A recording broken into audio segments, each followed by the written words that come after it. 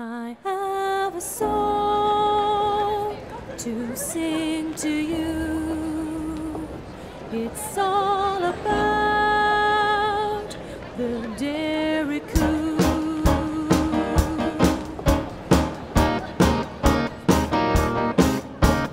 Not a good job in the